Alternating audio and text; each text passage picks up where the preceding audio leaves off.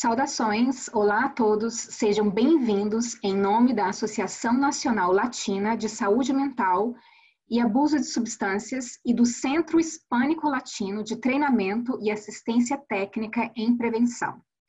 Convidamos vocês para a conferência web intitulada Prevenção ao Suicídio. Todos podem ajudar, prevenindo o suicídio na comunidade latina. Meu nome é Fabrícia Prado, Sou psicóloga brasileira e trabalhadora social clínica, licenciada no estado da Georgia, nos Estados Unidos, e vou estar apresentando a vocês a versão traduzida por mim para o português dessa conferência web que foi originalmente apresentada em inglês, tendo como anfitrião uh, Dr. Mancini, diretor do projeto do Centro Nacional Latino-Hispânico de Treinamento e Assistência Técnica em Prevenção. Antes de apresentá-los à palestrante de hoje, aqui estão algumas breves instruções sobre, sobre esta apresentação. Esta uh, webconferência está sendo gravada e arquivada para reprodução futura e está sendo gravada também em espanhol. Ao final desta apresentação, haverá uma sessão de perguntas e respostas que foi gerada na apresentação ao vivo, em espanhol. E eu também as traduzi aqui para apresentar a vocês. Há perguntas muito interessantes e estaremos fornecendo todas elas e as suas respectivas respostas que foram dadas pela palestrante no momento da conferência ao vivo. E outra coisa muito importante é que também é, estaremos solicitando que vocês completem uma breve pesquisa ao final deste webinar. Essa é uma avaliação de satisfação que é muito importante para que o trabalho que o PTTC faz e oferece a oportunidade de melhorar os esforços de treinamento. Embora o PTTC não forneça crédito para educação continuada para este evento, pretendem fazê-lo para eventos futuros. Então, vamos começar apresentando o Centro Hispânico Latino de Treinamento e Assistência Técnica, ah, em abuso de substâncias e sua equipe, e também o, ATTC, o PTTC Nacional Hispânico Latino, que se encontra na Associação Nacional Latina de Saúde Mental e Abuso de Substâncias, NAUBA, por suas siglas em inglês. Uma organização sem fins lucrativos, localizada no Novo México. A NAUBA foi criada para atender às necessidades de uma voz nacional para as populações latinas no campo da saúde mental e para chamar a atenção das grandes disparidades existentes nas áreas de acesso, utilização, pesquisa baseada na prática e pessoal adequadamente treinado. O diretor executivo da NAUBA é Freddy Sandoval. O Centro Hispânico Latino de Treinamento e Assistência Técnica em Prevenção PTTC, uh, faz parte da rede PTTC, que é um recurso internacional multidisciplinar para profissionais da área da prevenção. Fundado em 1993 pela Administração de Serviços para Abuso de Substâncias e Saúde Mental, ou SAMHSA, por suas siglas em inglês, a rede PTTC é composta por 10 centros regionais nacionais, seis centros internacionais de HIV, que são financiados pelo PERFAR, dois centros de áreas de enfoque nacional e um escritório de coordenação de redes. Juntas, a rede atende a todos os 50 estados dos Estados Unidos. Distrito de Colômbia, Porto Rico, Ilhas Virgens Americanas, Ilhas do Pacífico de Guam, Samoa Americana, Palau, Ilhas Marshall, Micronésia e Ilhas Marianas. Os PTTCs internacionais do HIV atendem ao Vietnã, Sudeste Asiático, África do Sul e Ucrânia. Aí vocês podem ver um mapa dos PTTCs baseados aqui nos Estados Unidos. O PTTC Nacional Hispânico e Latino tem um foco nacional para as comunidades hispânicas e latinas e a força de trabalho que presta serviços a essas comunidades. O PTTC Hispânico Latino conta com a equipe do Dr. Pierluigi Mancini, que é o diretor do projeto, Priscila Giamassi, assistente administrativa executiva, e Dolca Michele Zelaya, coordenadora do projeto. Vamos pedir-lhes uh, para preencher uma breve avaliação, como eu disse, ao final deste uh, seminário web. Esta pesquisa, como eu disse, é uma avaliação muito importante para o trabalho do PTTC. Então, por favor, tomem um momento para fazer a pesquisa assim que terminarmos. Agora é hora de apresentar a nossa estimada colega, a senhora Diana Rosado. A senhora Diana Rosado nasceu em Ohio, de pais porto-riquenhos, graduou-se em bacharelado em educação empresarial e mestrado em orientação de aconselhamento pela Universidade de Porto Rico. Diana é uma especialista em prevenção certificada internacionalmente. Ela trabalhou como conselheira escolar em escolas públicas primárias, intermediárias e secundárias. Ela uh, trabalhou como especialista em parceria com o Departamento de Comércio por três anos. Ela também era especialista em prevenção na CETPA, que é uma agência bilíngue de serviços de prevenção e tratamento ou terapia para problemas mentais e abuso de substâncias, aqui na Georgia. Como coordenadora do projeto para iniciativa de prevenção do suicídio, ela começou do zero a coalizão de prevenção do suicídio no condado de Gwinnett, no estado de Georgia. Ela coordenou a direção e produção de um documentário de prevenção ao suicídio que foi ao, ao ar na televisão espanhola e ganhou um prêmio Emmy no Sudeste. A senhora Rosado dirigiu mais tarde o projeto de prevenção do álcool em cinco regiões do estado da Geórgia, concentrando esforços para com, a, para com a juventude latina e coordenou a direção e produção de um outro documentário sobre prevenção do álcool, que também ganhou um Emmy no Sudeste. Ela foi, por fim, coordenadora do projeto de Compras Ricas e Saudáveis, uma iniciativa para promover hábitos alimentares saudáveis dentro das famílias latinas. Ela atualmente vive em Lawrenceville, na Georgia, com o marido e tem três filhos casados e uma neta. Então, agradecemos muito pela contribuição da senhora Rosado. E o que vocês vão escutar agora são as palavras da senhora Diana Rosado na íntegra, que foram traduzidas por mim do inglês ao português. Então, é, ela diz que é um, é, é um prazer facilitar este webinar e agradece a oportunidade. Esse slide é porque, quando foi apresentado em inglês, foi no mês de setembro. Então, a, o mês de setembro é o mês de prevenção ao suicídio. O primeiro Dia Mundial do Suicídio foi realizado em 10 de setembro de 2003. Essa apresentação vai durar cerca de uma hora e meia. Infelizmente, alguém a cada 40 segundos tira a própria vida, de acordo com a Organização Mundial de Saúde. Isso é aproximadamente 135 vidas durante esta apresentação.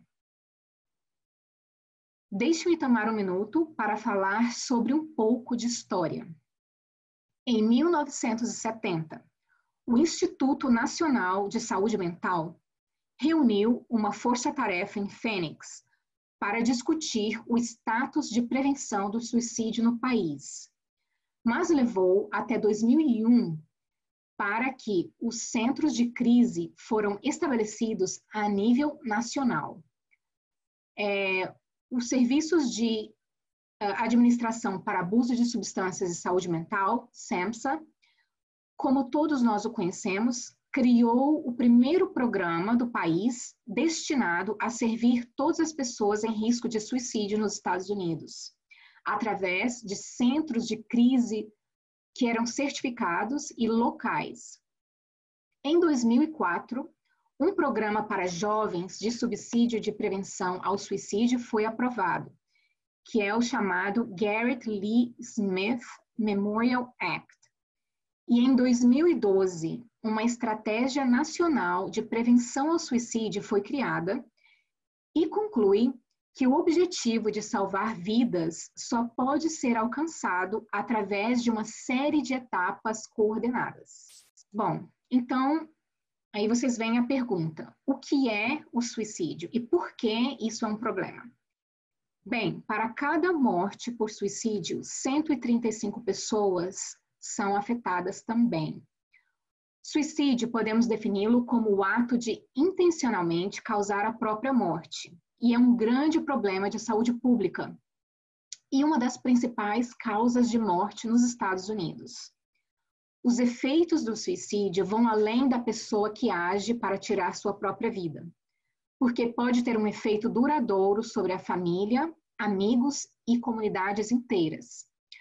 Um sobrevivente de suicídio é considerado um dos familiares e amigos de alguém que morreu por suicídio. Então, agora, vamos falar um pouco sobre estatísticas nacionais. 47 mil pessoas morreram por suicídio só em 2017, mais do dobro do que por homicídio, que foi de 19.500. E para cada morte por suicídio, 219 consideram seriamente o suicídio. É a segunda principal causa de morte entre adolescentes e adultos jovens dos Estados Unidos de acordo com o CDC, que é o Centro de um, Controle de Doenças. O suicídio é uma das principais causas de morte também entre estudantes universitários nos Estados Unidos. Acredita-se que o número de mortes por suicídio seja ainda maior. Então, a Diana Rosado diz: Eu estava falando com um médico legista aqui no condado de Gwinnett, na Georgia, e ele mencionou alguns casos como exemplos de mortes que não foram consideradas como suicídio, mas suspeitas como tal. Um caso que me vem à mente é de uma senhora idosa que perdeu o marido de mais de 50 anos por causas naturais. E por algum motivo ela não podia continuar vivendo em sua casa. Então ela ia se mudar para viver com o filho. Ela era dona de um gato por mais de 10 anos. E seu filho disse que ela não poderia trazer o gato com ela. Então, um dia antes dela se mudar, ela bateu o carro contra uma árvore na rua em que ela morava. Ela e o gato morreram com o impacto. Mesmo que o médico legista suspeitasse de suicídio, a morte foi descartada como um acidente de carro. E foi triste ver e ouvir outros casos que ele estava mencionando. Então, isso é para justificar porque a estatística pode ser ainda mais alta. Em relação às taxas de suicídio por idade, vocês podem ver aí no gráfico, entre 2008 e 2017, as taxas de suicídio aumentaram entre todas as faixas etárias. Nos últimos anos, as taxas de suicídio entre adultos entre as idades de 25 e 44 anos superaram as taxas de suicídio entre os idosos, que são categorizados como pessoas a partir de 55 anos. E você pode notar aí um aumento entre o grupo de 15 e 24 anos de idade de 2014 a 2017. Estatísticas hispanas. As tentativas de suicídio em meninas hispânicas é maior do que branco, entre brancos, negros e asiáticos nos Estados Unidos. 19% dos estudantes hispânicos do ensino médio têm seriamente contemplado suicídio. E 13,5% das meninas hispânicas tentaram suicídio pelo menos uma vez em suas vidas.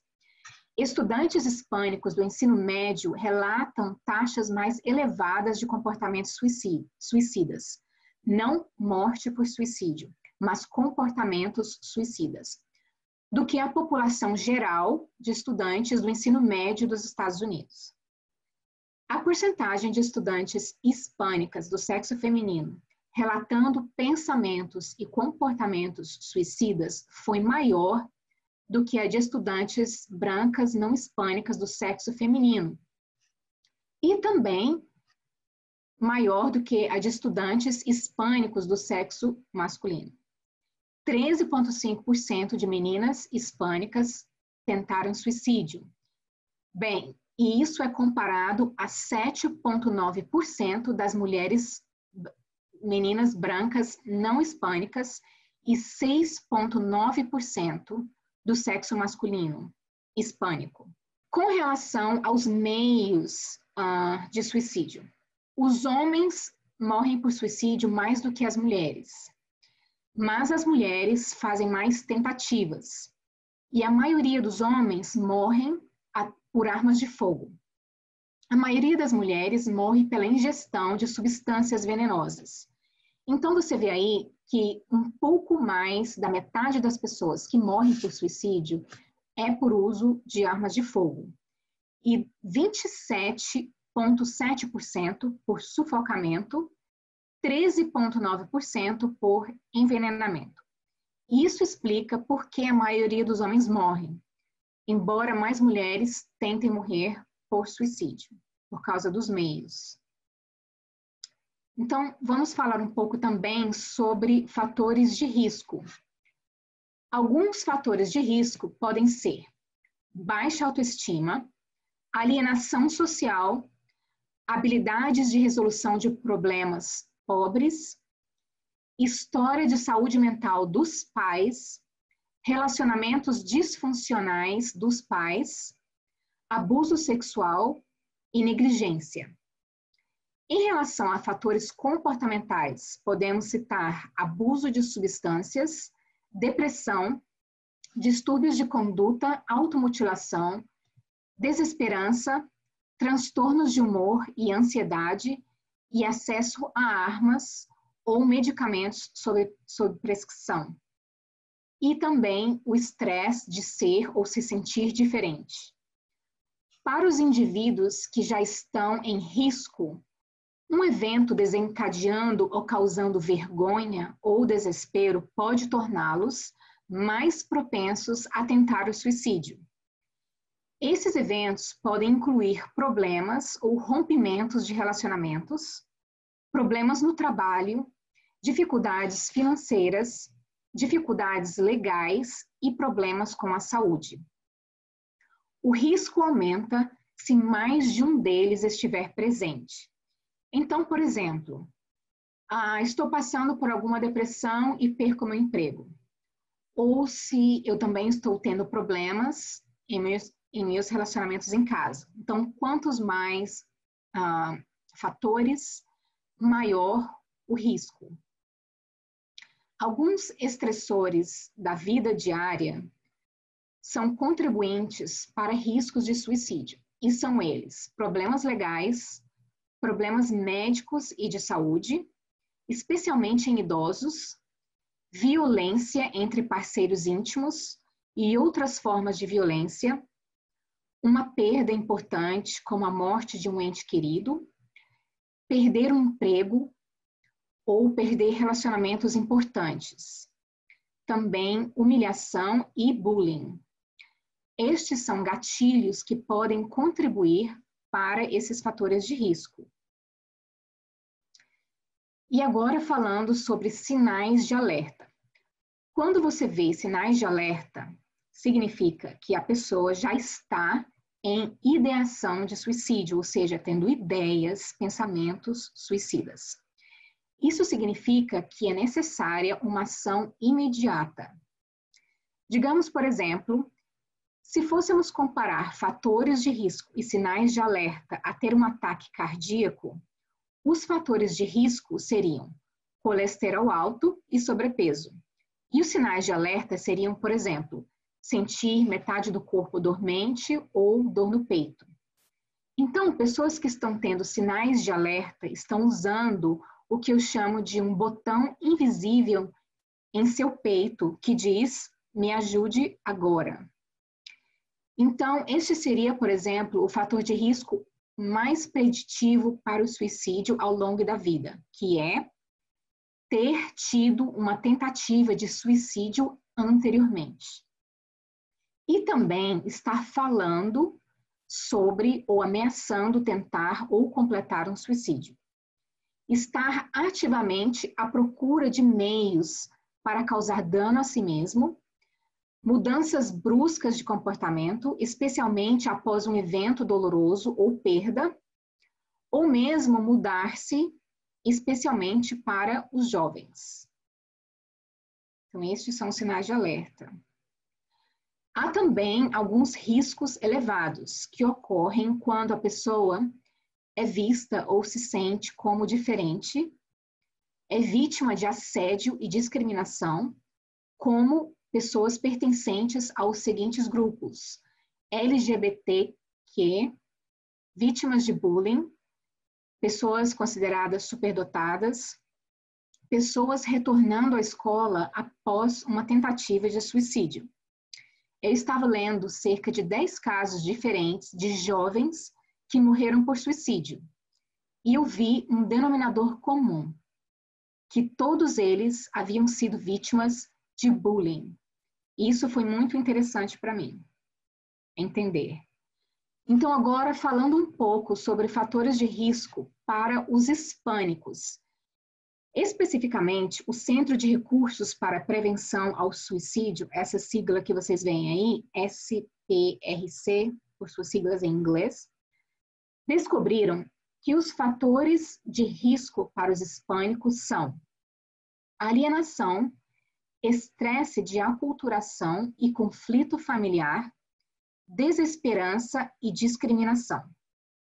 O estresse de aculturação refere-se àqueles estressores associados a ser um imigrante ou a ser parte de uma minoria étnica e também a passar por, pelo processo de adaptação que requer por ser, por ser um imigrante. Para os hispânicos que vêm para os Estados Unidos, há um número de estressores significativos que são suscetíveis a serem predominantes, intensos e durar ao longo da vida. Fatores como o status legal da família, a imigração forçada versus voluntária. Nem todo mundo que migra para este país está aqui voluntariamente.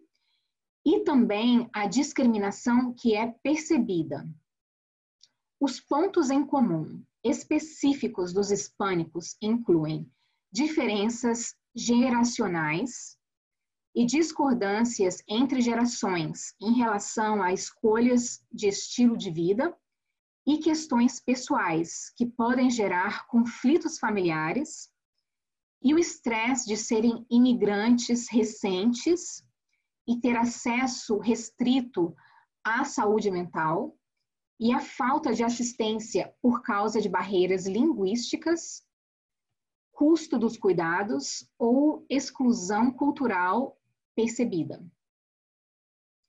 Mas depois de falar tudo isso, podemos dizer que há boas notícias.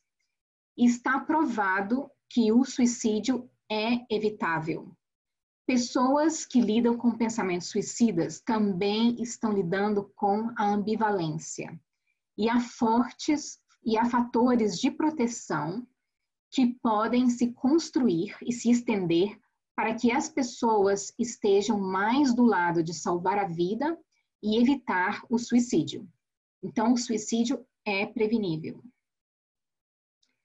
Então, agora vamos falar sobre esses fatores de proteção eles podem ser resumidos em ter tratamentos de saúde mental, se eles têm acesso a isso, conexão com indivíduos, família, comunidade, instituições sociais, também habilidades para a vida e habilidades de resolução de problemas, autoestima e um senso de propósito e significado na vida.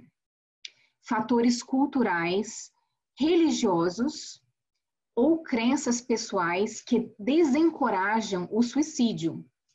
E os fatores mais significantes para as populações hispânicas e latinas são fortes sistemas de apoio familiares e comunitários, filiação étnica, espiritualidade e objeções morais ao suicídio. E para as mais uh, e os fatores mais significativos para as populações hispânicas e latinas são os fortes sistemas de apoio familiar e comunitário, como eu disse antes, filiação étnica, espiritualidade, e um outro fator importante que é o cuidado dos professores.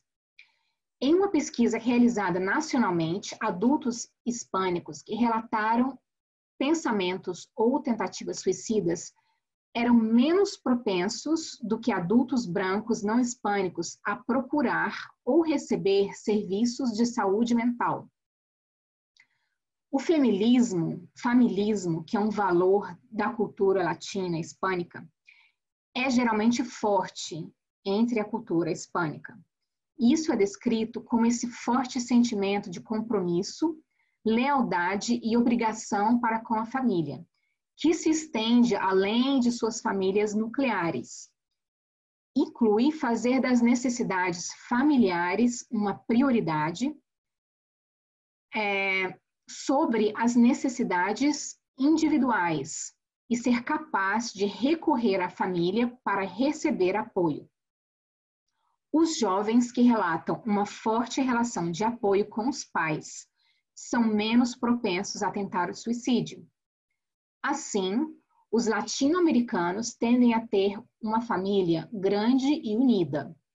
Não é incomum que três gerações vivam na mesma casa ou nas proximidades umas das outras. Eu vi isso em primeira mão. Os avós normalmente desempenham um papel importante na educação dos seus netos, mas de forma alarmante, uma em cada sete meninas hispânicas vivendo nos Estados Unidos tentará o suicídio depois de lutar com fatores comuns, incluindo cultura, acesso a cuidados de saúde dinâmica familiar, barreiras linguísticas e pobreza, de acordo com o SEMSA. O cuidado percebido dos professores está associado a uma diminuição do risco de tentativas de suicídio por adolescentes latinas. Um líder espiritual e professores são percebidos como figuras de alta autoridade na comunidade latina. Eles são figuras de autoridade, um líder espiritual, como um pastor, um padre, e também os professores. Então, isso é muito importante ressaltar. Em relação também à cultura, podemos dizer definitivamente isso, que cultura é prevenção. Adolescentes latinas com maior envolvimento na cultura hispânica e latina têm relações mais positivas com suas mães e apresentam menos comportamentos depressivos e tentativas de suicídio. Além disso, a identidade étnica está positivamente associada à autoestima entre adolescentes latinos e latinas e tem se mostrado um moderador da relação entre discriminação percebida e depressão. Indivíduos que se identificam como hispânicos relatam pontuações mais altas em medidas de objeções morais ao suicídio e em medidas de religião em comparação com pessoas que não são, não são hispânicas ou latinas.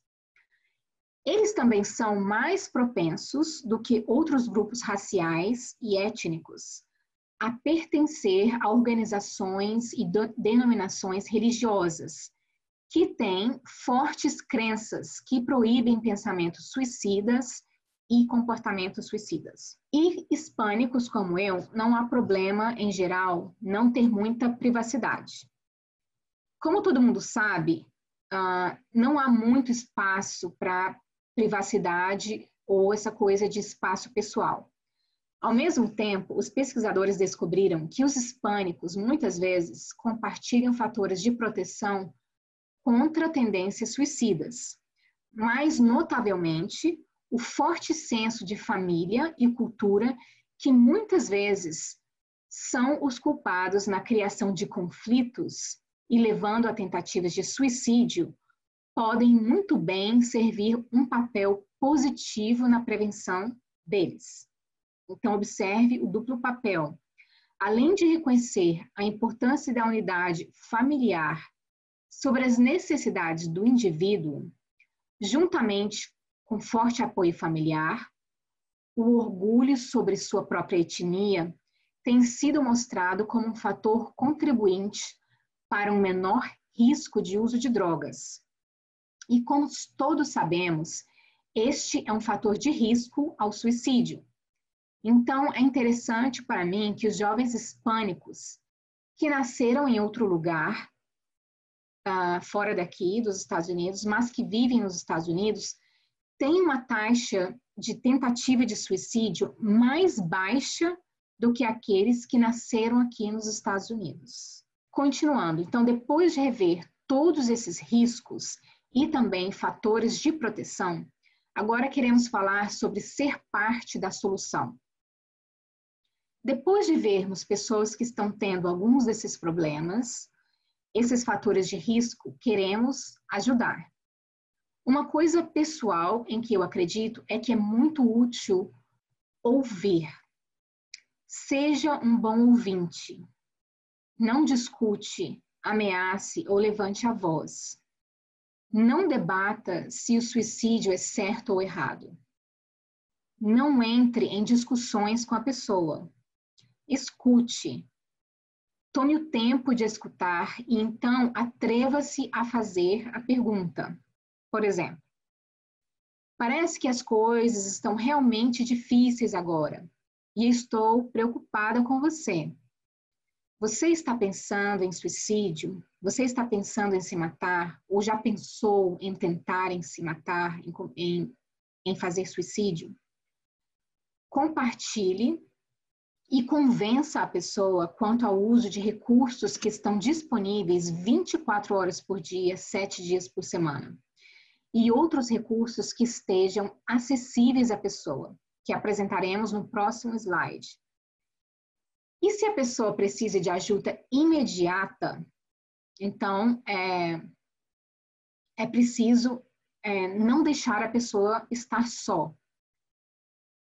É, é, é importante, então, uh, estar junto com a pessoa e outras coisas práticas, como remover todas as drogas, álcool, armas de fogo e objetos afiados, como faca, uh, que estejam acessíveis à pessoa levar a pessoa até um profissional de saúde médica ou mental e nunca parar de falar sobre suicídio e não guardar isso como um segredo ou um tabu.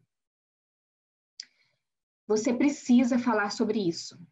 Então, perguntar alguém sobre suicídio não é prejudicial. Na verdade, é útil. Há um mito comum de que perguntar a alguém sobre suicídio pode colocar a ideia na cabeça da pessoa. E pense nisso. Você está falando com alguém com quem você está familiarizado. A pessoa com quem você está falando não é uma pessoa estranha. A pessoa tomou o seu tempo para falar com você, para se abrir com você. E você tem que ouvir o que a pessoa está compartilhando. Então, você tem que sentir a confiança e fazer a pergunta. Perguntar às pessoas sobre, sobre pensamentos e comportamentos suicidas não induz ou aumenta tais pensamentos e experiências de modo algum. Na verdade, perguntar diretamente a alguém: Você está pensando em se matar? Pode ser a melhor maneira de identificar alguém que está em risco de suicídio. E claro, se a resposta for positiva, a ação imediata é imperativa. Aqui, nesse slide, vocês podem ver três linhas de crise de prevenção do suicídio e eles estão disponíveis 24 horas por semana. Todos os dias, mesmo em espanhol, mesmo em um formato de bate-papo. É, então, Diana Rosado é, compartilha, né? Eu chamei a linha de vida de prevenção do suicídio e consegui falar com uma pessoa ao vivo. Eu era capaz de falar com essa pessoa, eu era capaz de perguntar a essa pessoa sobre sua pre é, preparação profissional. E ela era uma pessoa profissional de saúde mental. E eles são muito atenciosos. E mesmo que eu não estava chamando porque eu realmente tinha uma situação, ele estava apenas testando o sistema, ele funcionou muito bem. E há um outro também que é especificamente para veteranos, que é o 1800 1800 273 8255, o dos veteranos. E este outro, que é o uh, Trevor Lifeline, e o site para eles é o the, thetrevorproject.org. E esse é especificamente para comunidades LGBTQ jovens e aliados. Eles estão 24 horas, 7 dias por semana neste número, que é o 866 488 7386. Eles também têm um bate-papo entre 12 horas e 19 horas, horário do Pacífico. Isso é mais ou menos 15 horas, de 15 horas a 22 horas no horário leste. Você também poderia enviar uma mensagem de texto, Trevor, T-R-E-V-O-R, para esse número e você estará recebendo uma mensagem de volta. Há também uma linha de crise por mensagens de texto, porque você sabe que há muitos jovens que não gostam de falar por telefone. Então, eles teriam que enviar um texto dizendo olá, oi, ajuda, alguma coisa assim, para esse número que é o 741 741. E é gratuito, é confidencial, está disponível para qualquer pessoa 24 horas por dia, 7 dias por semana.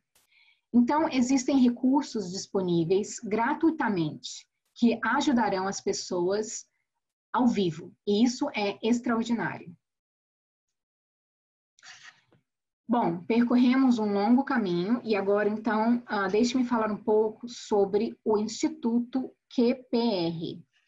Está disponível em inglês e também em espanhol. E ajuda as pessoas a reconhecerem os sinais de alerta de uma crise de suicídio e como questionar e persuadir e oferecer esperança e encaminhar esta pessoa a alguém que possa ajudá-la. Esse instituto treina a pessoa em perguntar alguém sobre a presença de pensamentos e sentimentos suicidas, a qual abre uma conversa que pode levar a uma referência para uma ajuda. Então, estou apresentando isso porque eu fui treinada para ser monitora deste programa e treino muitas pessoas de graça. Esse treino é curto e está disponível é acessível e custa 29 dólares e 95 centavos para um treinamento online individual.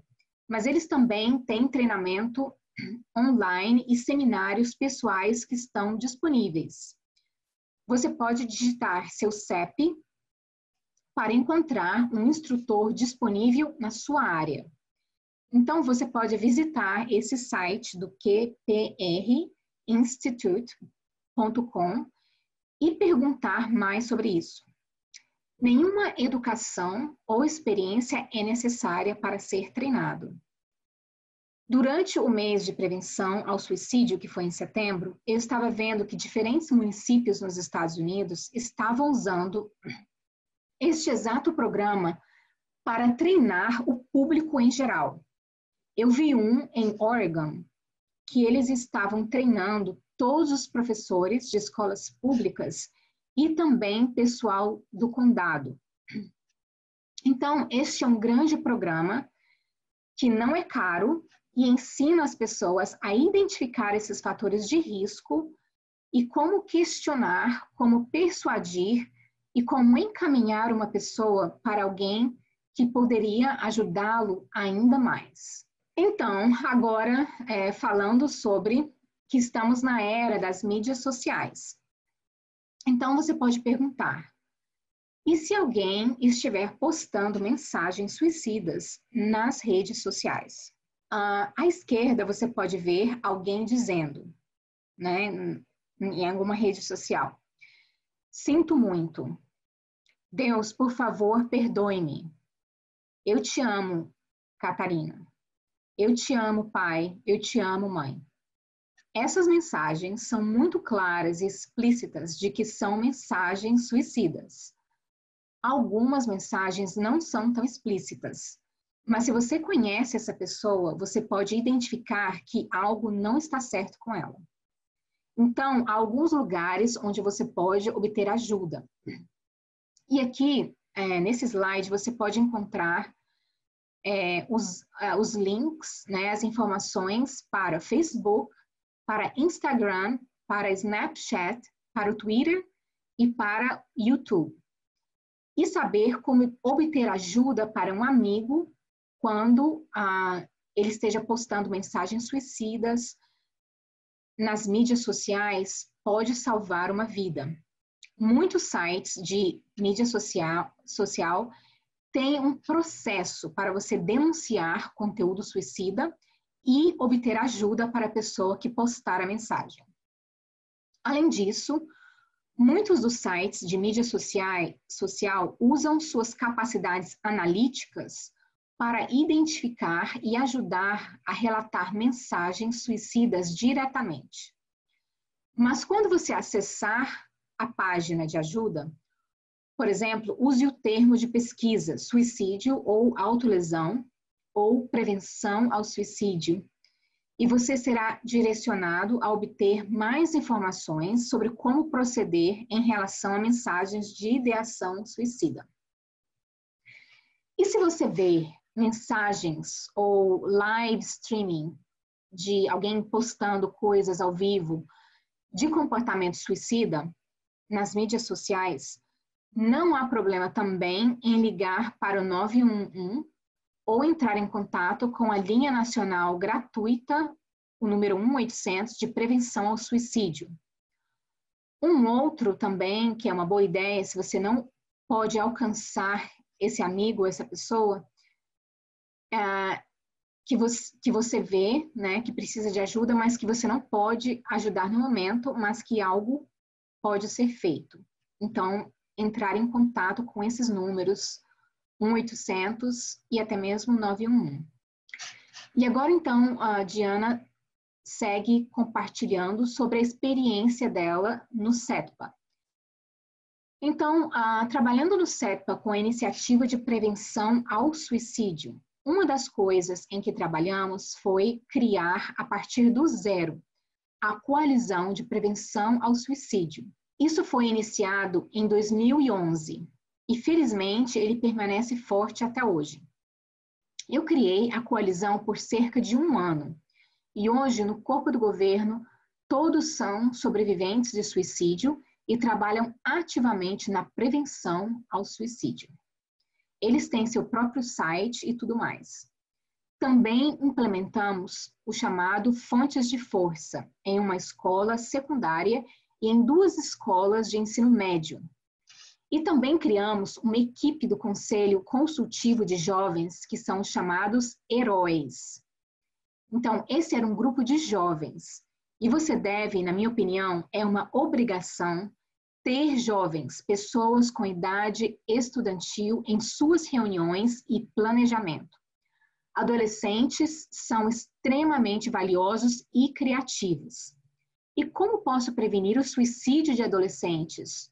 Ou ajudar a evitar isso sem adolescentes fazendo parte dessas reuniões? Você não pode fazer isso. Isso não pode ser feito. Latinos, em geral, são ávidos ouvintes da rádio. Fizemos então muitas apresentações de rádio.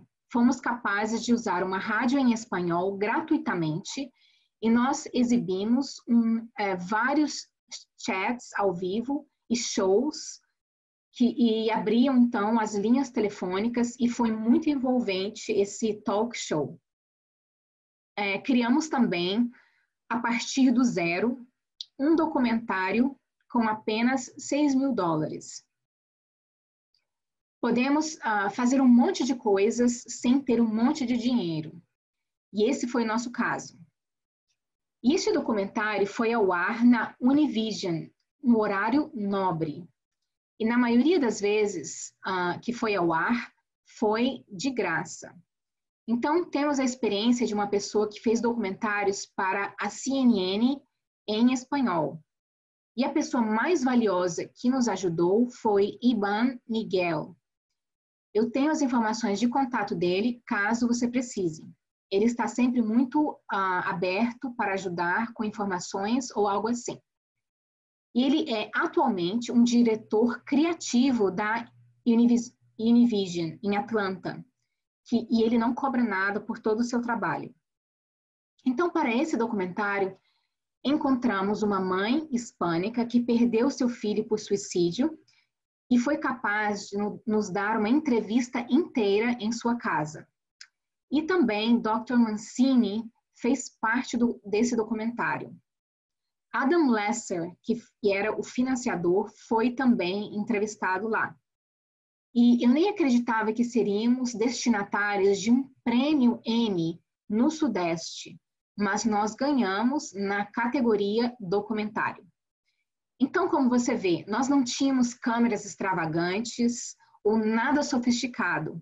Nós nem sequer tínhamos iluminação profissional ou qualquer coisa assim. Então, trabalhamos principalmente de casa ou em supermercado, em nossos escritórios, no campo, em um parque e ainda assim conseguimos um grande sucesso. E nós temos o link aqui que eu estarei apresentando no próximo slide. A outra coisa na minha experiência foi ser uma monitora desse Instituto QPR. Era muito fácil, atingível, possível e barato. E você pode fazer tanto e alcançar tantas pessoas. Porque mesmo que haja pessoas que querem ajudar, muitas vezes elas não sabem como. Então, você não precisa ser um profissional de saúde mental para chegar a outras pessoas e tentar ajudar, como identificando esses fatores de risco e persuadindo e pedindo, sempre persuadindo e pedindo. A outra coisa que tínhamos era uma CNN espanhol, especial em espanhol. Também não tivemos que pagar por isso e eles vieram até nós, eles fizeram tudo. Estávamos lá fazendo nossas próprias coisas e convidamos os pais, convidamos a juventude e tivemos uma conversa e foi muito interativo. Essa também é uma grande experiência. E fizemos apresentações no YouTube, porque acima de tudo isso foi feito com os jovens, com o conselho consultivo da juventude que chamamos de heróis. E foi muito trabalho, muito trabalhoso, é, conhecendo muitas pessoas, conectando, formando redes. Especialmente a, a coalizão de Guiné, do Condado de Guiné, de prevenção ao suicídio, que começou a, a conhecer um dia e em seguida convidamos mais pessoas e trazendo o médico legista, trazendo especialistas na área, iniciando então a arrecadação de fundos. Nós até tivemos que fazer uma atividade para criar o nosso próprio nome e também encontrar o nosso próprio logotipo. Eram pequenas coisas, pequenos passos, mas nós avançamos um pouco mais. Então, esse é o resumo da experiência no CEPA. Então, aqui nesse próximo slide, você pode ver o link para o documentário. Esse é um documentário em espanhol com legendas em inglês e foi apresentado na Univision no programa de TV Nuestra Georgia. Mas foi apresentado cerca de 10 vezes e está disponível se você está interessado.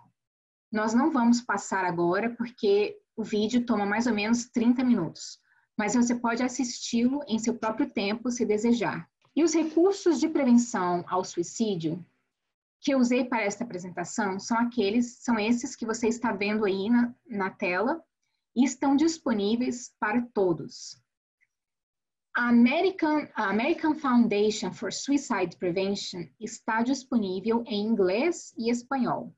Oferece encaminhamentos para grupos de apoio e profissionais de saúde mental para aqueles que têm pensamentos de suicídio, aqueles que perderam alguém ao suicídio e aqueles que tentaram suicídio, além de outros recursos de informação. Um recurso que achei muito útil é o Centro de Recursos de Prevenção ao Suicídio. Ele fornece três recursos para ajudá-lo a rever programas baseados em evidências para trabalhar com prevenção ao suicídio. Ele lhe dá três ferramentas. Uma é a ferramenta hexágona, que, que eles chamam, e pode ajudá-lo a selecionar, revendo seis fatores do programa. Eles também têm um site para ajudá-lo a selecionar programas baseados em evidências científicas.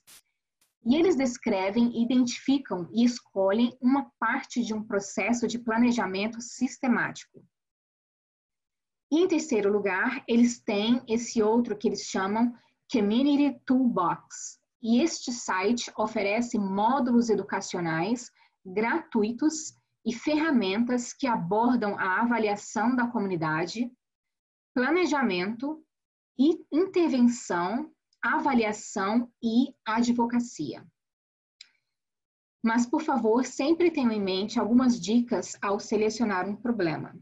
Realizar uma avaliação local do problema, riscos e fatores de proteção dentro da popula população que você deseja servir. Lembre-se que cada população é diferente. As pessoas que eu sirvo podem ser muito diferentes das pessoas que você deseja servir.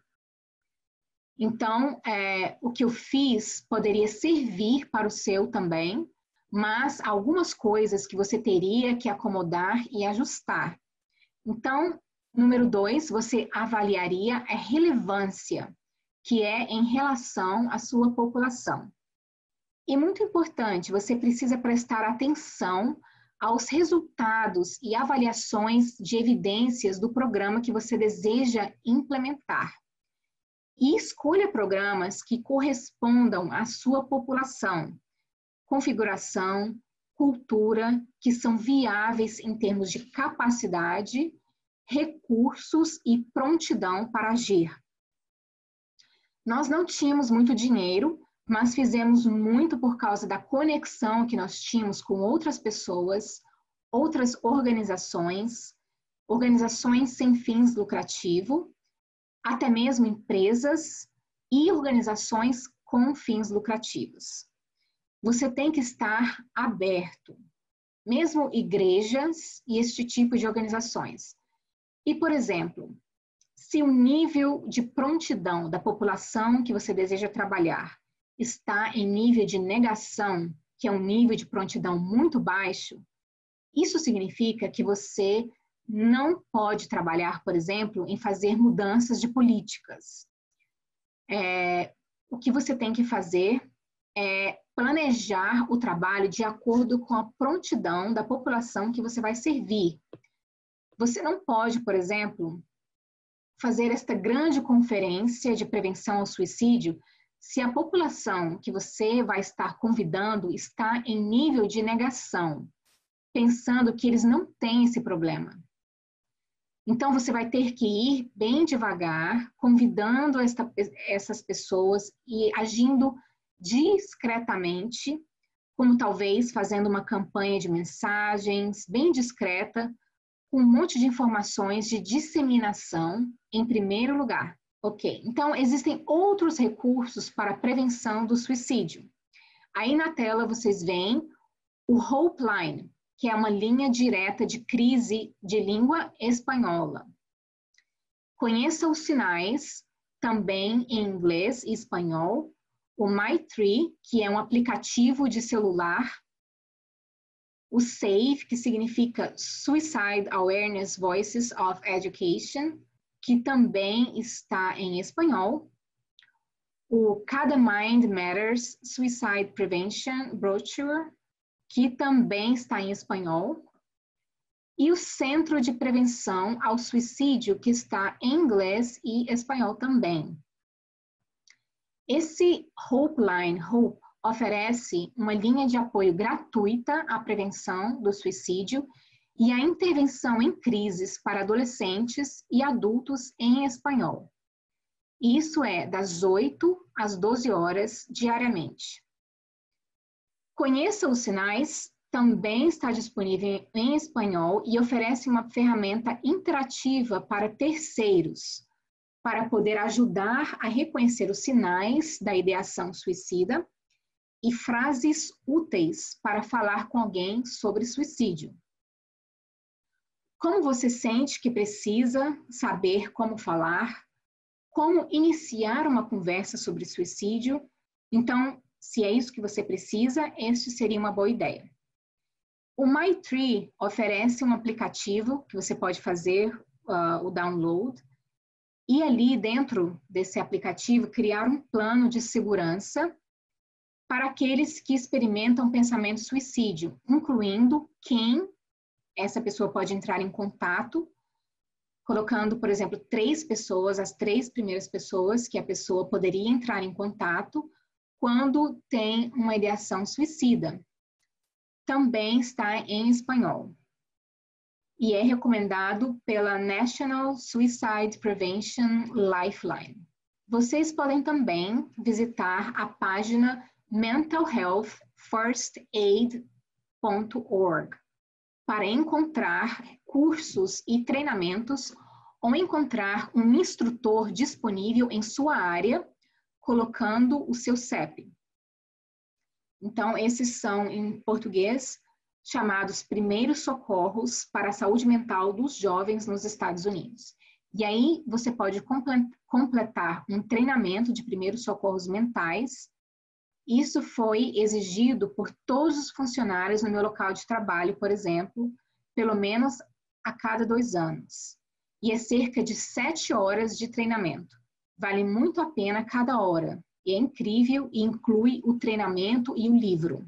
Outro programa que também é baseado em evidências científicas que eu quero apresentar a vocês e que eu implementei em três escolas do condado de Guiné é o chamado Fontes de Força, ou Fortalezas, ou Fontes de Suporte, Fontes de Apoio. Ele é projetado para construir influências protetoras em torno da juventude e para reduzir a probabilidade de que jovens vulneráveis e adultos jovens se tornariam suicidas. Eu tenho algo especial para você no caso de você, de você estar interessado. Isso realmente funciona. Eu tenho os telefones celulares uh, do trabalho, de trabalho, para o fundador e o presidente e para o diretor executivo, que são Mark Lowe Murray, que é o fundador e presidente, e Scott Lowe Murray, que é o diretor executivo, caso você esteja interessado. São os fundadores desse, desse programa. Uh, porque se você pesquisar, né, sourcesofstrength.org, você não vai encontrar o telefone deles. Mas eles estão disponíveis se você precisar falar então, fale comigo, com Diana, Diana Rosário. Esse Fontes de Força é mais frequentemente implementado como um programa baseado nas escolas, no ensino médio e também nas faculdades. Mas também pode ser usado em ambientes comunitários, religiosos ou culturais. Promove e concentra-se na conectividade na ligação escolar, nas parcerias entre pares e adultos e nos comportamentos de busca de ajuda. Lembro-me de trabalhar muito nas três escolas com muitas mensagens. Tínhamos um grande mural nos corredores das escolas, onde todo esse tráfego de estudantes passaria, porque ter um mural dentro do escritório do conselheiro, do terapeuta da escola, não funcionará. Mas ter um mural grande aí no corredor, no caminho onde todo o tráfego de estudante uh, passa, é basicamente, foi basicamente uma, uma ferramenta muito útil. E você teria que mudá-lo, né, a, a adaptar, a atualizar esse mural pelo menos a cada duas semanas. Foi o que nós fizemos. E, novamente, os alunos são o recurso mais valioso para fazer isso. As mentes mais criativas que existem. Então, treinamos estudantes como líderes e eles se conectavam com seus amigos, com outros alunos. E nós os treinamos para ter conversas um a um, para desenvolver esperança, saúde, força, e nosso programa de rádio, é, de publicação pública de rádio, PSA, usando rostos e vozes locais, pessoas que eles conheciam. Então, as fotos e as pessoas que eles viam, que eles escutavam e viam nesses anúncios de rádio, é, eram pessoas conhecidas, eram todas pessoas das, das escolas. Então, é, fizemos apresentações de peer-to-peer, -peer, que é entre pares, entre colegas. Poderia ser, essas apresentações poderiam acontecer na cafeteria, no refeitório da escola, ou durante o horário de aula. Estas apresentações duravam em torno de 5 a 10 minutos e, felizmente, conseguimos fazê-los durante aulas de saúde e também aulas de arte. Desenvolvemos vídeos e anúncios de rádio no YouTube, mensagens de texto e anúncios públicos sobre a escola durante a manhã. E como você vê, é, Fontes de Força é muito forte na construção de relacionamentos e de mensagens. Este é um núcleo forte disso. Isso é muito barato, na minha opinião. E o programa é muitas vezes iniciado como um projeto de três a seis meses, mas você pode designar um projeto plurianual com mensagens entre pares em andamento e contatos crescendo ao longo do tempo. Então, no nosso caso, o Fontes de Força era como um acordo para três anos. E como eu disse anteriormente, você pode implementá-lo também em uma igreja, em um serviço de escritório comunitário e também prova-se que funciona muito bem. E aqui, nesse próximo slide, eu gostaria de apresentar então o vídeo uh, que foi feito, que é de menos de dois minutos, e foi feito uh, pelo Fontes de Força. Uh, então, estamos apresentando esses oito fatores de força, né, de, de apoio, de fortalezas, que são usados nesse programa de fontes de força, como apoio familiar. Deixa eu voltar o slide de novo. Vou voltar no círculo aqui. Que são apoio familiar, ter amigos positivos, mentores, atividades saudáveis, generosidade, espiritualidade, acesso médico e acesso à saúde mental. Então, dizemos que se um aluno tem pelo menos quatro dessas oito fontes, eles devem ser fortes. Eles estão protegidos. Mas quanto menos, bem pior é. Então, voltando, vamos assistir a esse vídeo que é bem curto.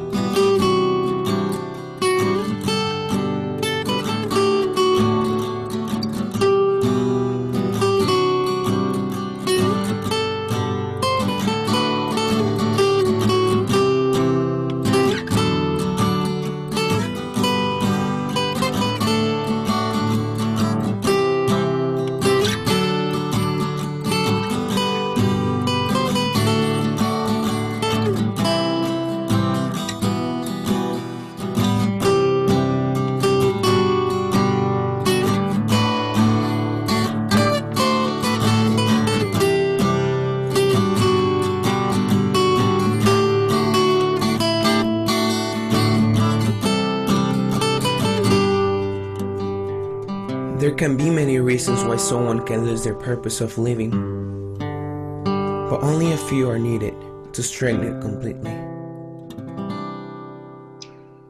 Ok, então esse foi o vídeo. E o que eles disseram ao final é que há muitas razões pelas quais alguém pode pensar e contemplar o suicídio, mas que apenas algumas razões positivas podem ser suficientes para mudar, uh, para tirar a pessoa daquele lugar e para mudar, uh, fazer a pessoa mudar de ideia. Então, é, como vocês viram, uh, não, não, não falaram muito, né? Era mais como assistir e ver cada uma dessas oito fontes de força sendo apresentadas de forma visual. E esses alunos faziam parte do grupo dos jovens heróis que eu falei anteriormente. Então, ao final, sempre tente incluir os jovens em tudo o que você faz. E também sempre incluir o número de crise lifeline. Se vocês viram ao final, no, assim que acaba o vídeo, aparecia então o número da linha de crise. Então, sempre que uh, fala-se sobre suicídio, é importante incluir um número de, da linha de crise, lidando com a ambivalência.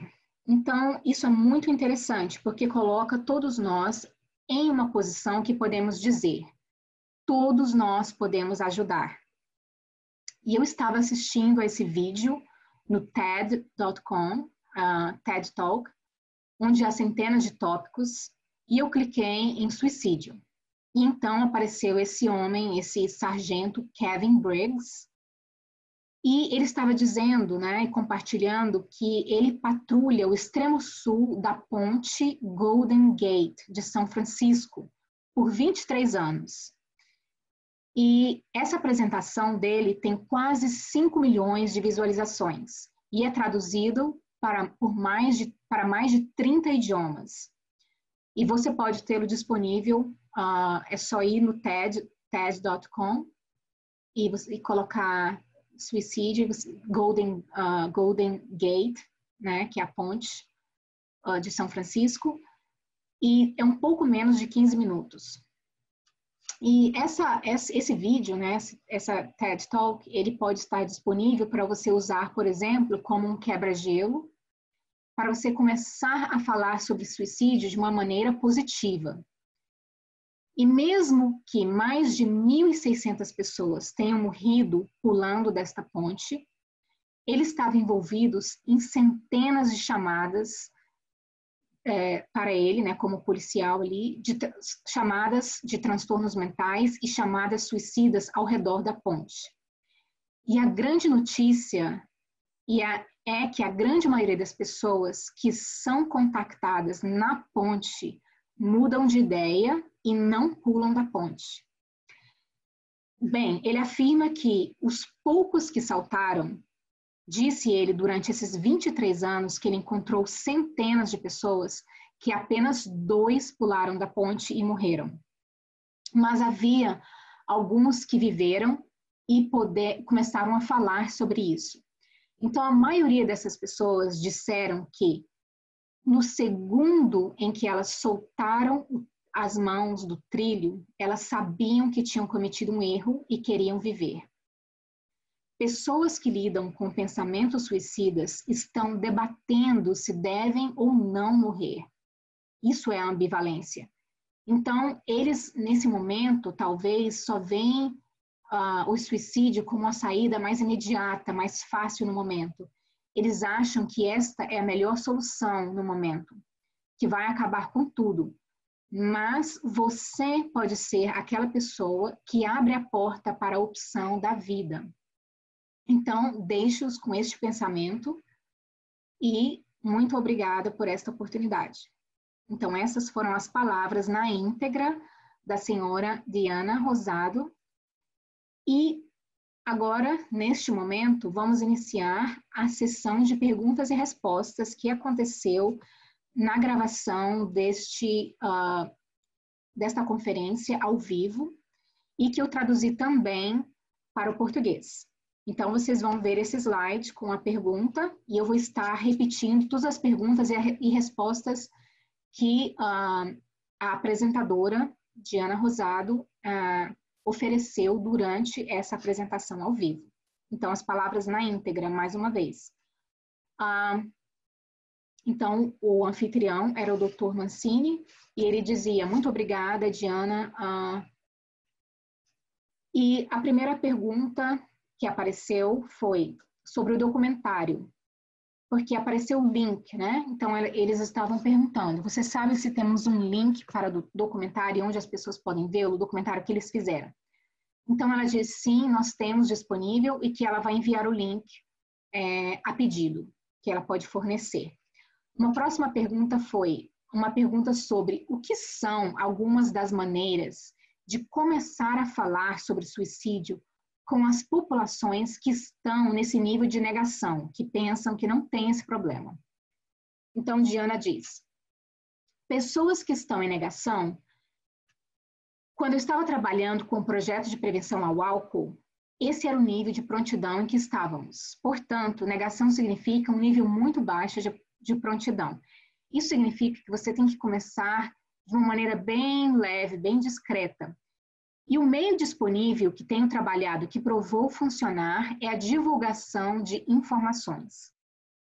Você realmente quer fazer tantas coisas e mudar a percepção das pessoas e tudo mais, mas você não pode começar por isso.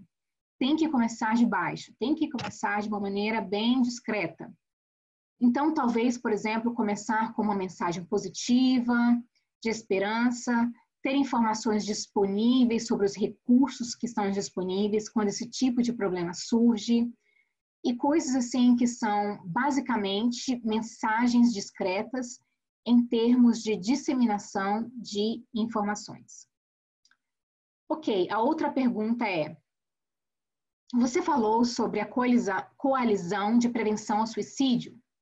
Existem coalizões que querem chegar às comunidades latinas e elas simplesmente não sabem como fazer isso. Eu sei que você trabalhou para ajudar algumas coalizões recrutar membros da comunidade latina. Você pode nos dizer um pouco sobre algumas estratégias que você usou para ajudar coalizões a trabalhar com indivíduos a fim de servir as comunidades latinas? Então, ela diz: se eu quiser servir as comunidades latinas, eu tenho que ter latinos na minha coalizão. Isso não há dúvida. Como, por exemplo, se quero servir jovens, tenho que ter jovens sentados à minha mesa e tomar decisões e dar sugestões e opiniões. É difícil porque você teria que traduzir se eles não sabem inglês. E nós tivemos essa situação em uma de nossas coalizões, onde tínhamos pessoas que não falavam inglês. Então, ah, alguma, você tem que ter pessoas que traduzam para eles, e eles têm que ser e se incluídos. Você tem que participar de eventos que são direcionados para eles. Você tem que estar disponível para sentar-se em coalizões que servem essas comunidades hispânicas ah, e, e chegar também diretamente a essas populações hispânicas. Talvez seja um processo um pouco lento, mas não funciona se não for assim. Eles têm que sentar-se em suas reuniões. Além disso, networking, fazer relacionamentos é, com outras coalizões que trabalham com essas comunidades, mesmo que essas coalizões não estejam diretamente relacionadas ao propósito da sua coalizão. Próxima pergunta. O que você recomenda para envolver os pais e atrair os pais de adolescentes nas escolas para iniciar essa discussão sobre suicídio. Bom, se é com os pais latinos, isso já é mais fácil, porque os professores na escola e administradores da escola são vistos como figuras de autoridade. E os pais ficariam exultantes em serem convidados a virem servir e participar. Isso é muito apropriado, na minha opinião, e pode ser fácil com os pais hispânicos. E a carta ou convite que você vai enviar tem que ser, obviamente, em espanhol. No, na escola na, de high school Middle Creek, que eles trabalharam, além de enviar a carta para o aluno em espanhol, nós fazíamos um telefonema em espanhol. É bem trabalhoso, mas temos, tínhamos voluntários e alunos que nos ajudavam a fazer isso. E se são pais que são americanos ou que não são hispânicos, então é uma história diferente e que tem que ser trabalhado e discutido também com os jovens. Os jovens são muito criativos e eles são muito ansiosos para ajudar. E eles, se eles sentem que estão sendo ouvidos uh, e sentem que suas sugestões são importantes, isso faz com que eles também estejam empolgados. Outra pergunta é sobre o grupo Heróis. Você pode falar um pouco mais sobre como você foi capaz de envolver os jovens e que tipo de atividades que esses jovens faziam por você em seu programa? Ok, uh, não foi difícil, tenho que dizer, não foi difícil encontrá-los, porque no CETPA trabalhamos com escolas e tínhamos um programa de prevenção após a escola. Mas realmente recrutar era basicamente encontrar dois ou três adolescentes, estudantes, que eram muito ativos e que estavam muito uh, desejosos de se voluntariar e que estariam sempre sentados, sempre participando em nossas reuniões. Então, esses mesmos jovens ajudavam a recrutar outros jovens. O recrutamento foi feito principalmente por eles mesmos. E também tenho que dizer que eles foram recompensados. Não era só que eles tinham que trabalhar e fazer todo o trabalho, mas oferecemos-lhes algumas atividades divertidas, que eram basicamente oferecer a eles comida. Se você tem adolescentes, você tem que ter comida, mesmo que seja junk food. E também é, eles têm que se sentir valorizados. Então, nós convidamos as pessoas que realmente queriam ouvir o que tínhamos a falar e fizemos atividades divertidas, como jogos, assistir um filme e coisas assim que eles estariam interessados. E eles estavam principalmente envolvidos em fazer campanhas de recrutamento e também na criação de mensagens. Foram eles que fizeram os vídeos, foram eles que entraram em contato com outros membros, outros estudantes e mantiveram o grupo. As reuniões que tivemos foram dirigidas principalmente por eles. Ok. Um, uma, uma pergunta sobre estresse de aculturação como um fator de risco. Como você sente que a aculturação desempenha um processo, um papel, quando alguém tem que reduzir sua identidade cultural a fim de se encaixar com a comunidade local? Isso está associado ao risco de suicídio para as comunidades latinas, o papel da aculturação? Ah, então, ela diz que a aculturação é um fator muito protetor para os hispânicos. E ser capaz de se identificar é parte de ser quem você é. É sobre construir a sua autoestima e a segurança de quem você é, de onde você vem. E também dá um certo orgulho, então, eu acredito que este é um fator de proteção muito importante e eu realmente digo que é importante desenvolver isso.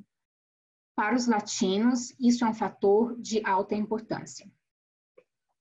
Próxima pergunta, sobre o Fontes de Força, que é esse programa entre pares. Como você adaptou Fontes de Força para a população hispânica para torná-lo mais culturalmente apropriado. Então, ela diz: Bom, o Fontes de Força é basicamente conectar pares, ou seja, colegas com colegas e também jovens estudantes com adultos. Então, eles são os únicos que escolhem quem é esse adulto confiável. Então, isso vai além de qualquer cultura. Se você confia em alguém, você vai querer que a pessoa seja esse adulto de confiança. E essa conexão é construída em fontes de força. Então, a maioria dos alunos iriam apenas convidar a pessoa. Nós tínhamos um processo a fazer isso e o adulto, então, aceitaria. E, na minha opinião, funcionou muito bem. Uh, e funcionou muito bem, e eu acho que funcionaria muito bem com qualquer cultura, porque fizemos as mensagens com base no que os adolescentes, os estudantes achavam que era importante, eram as ideias deles. E eles estavam se sentindo importantes, porque as sugestões deles estavam sendo levadas em consideração. Então, quando eles veem isso acontecer, não importa se você é hispânico ou de outra raça, isso faz o trem continuar a se mover, a se mover né? o bonde continua andando. Por isso, foi, a, foi apenas levá-los a considerar e manter fontes de força com base em mensagens que eram importantes para eles, com base no que eles precisavam, e com base no que você sabe serem fontes de risco e fontes ou fatores específicos pelos quais eles estavam passando para servir a esta população específica. Então, você é a pessoa que guia e orienta, mas eles são as pessoas que fornecem as ferramentas em termos do que vai ser dito e de como isso vai ser dito. Uma próxima pergunta. Você pode falar sobre o impacto dos determinantes sociais da saúde e o aumento do risco de suicídio entre os latinos? Então, talvez uh, você pudesse começar por nos dizer um pouco sobre o que são os determinantes sociais, quais são essas categorias, e então, qual é o impacto deles sobre o aumento do risco de suicídio? Então, ela diz: eu diria que há pelo menos seis determinantes da saúde, que são a estabilidade econômica, isso inclui emprego, renda, despesas, dívidas, contas médicas. O segundo é o bairro e o ambiente físico. Isso tem a ver com moradia, transporte, segurança, parques, locais públicos. Educação, que inclui linguagem, alfabetização, educação infantil, formação e ensino superior a comida ou mantimentos, isso tem a ver com fome e acesso a opções saudáveis, contexto comunitário e social, ou seja, lidar com a integração social, com sistemas de apoio e o envolvimento da comunidade e também discriminação. O sistema de saúde lida com a cobertura de saúde, a disponibilidade de provedores, a qualidade do, atendimento. Assim, o risco que tem a ver com qualquer um desses determinantes da saúde aumenta se você não tiver algum deles. Por exemplo, se você tem problemas com o emprego, com a sua renda, com uma dívida elevada, se você tem contas médicas, isso o coloca em uma posição onde você iria passar por algum estresse e ansiedade. Se você adicionar a isso que a sua educação é baixa, ou uh, isso sendo mais um estressor em sua vida, ou também que você está em falta de mantimentos, comida, e também em falta de acesso à saúde, a um médico, por exemplo. Então, isso tudo o colocaria em um risco maior. E se, por exemplo, você não é capaz de falar o idioma e você está sendo discriminado, isso vai aumentando o risco. Então, essa é a minha opinião. Uma outra pergunta muito importante. Uma pergunta sobre o esclarecimento da maior incidência de tentativas de suicídio com adolescentes latinos nascidos nos Estados Unidos versus aqueles que nasceram em outros países. Então, de, uh, a senhora Rosado diz: Eu não tenho a resposta de saber o porquê. O que eu penso nesse momento sobre o porquê, para ser honesta, e penso que esse faz parte da razão, é: por exemplo, se você nasceu, digamos, no México e você vem para os Estados Unidos, você chega aqui e você já tem suas regras, você já tem sua identidade. Você sabe de onde você vem. Você sabe como é, você fala, a língua. Você estava interagindo com os membros da família lá, com talvez a primeira, segunda e terceira geração de seus familiares. E você acabou de vir aqui. Você já tem uma fundação.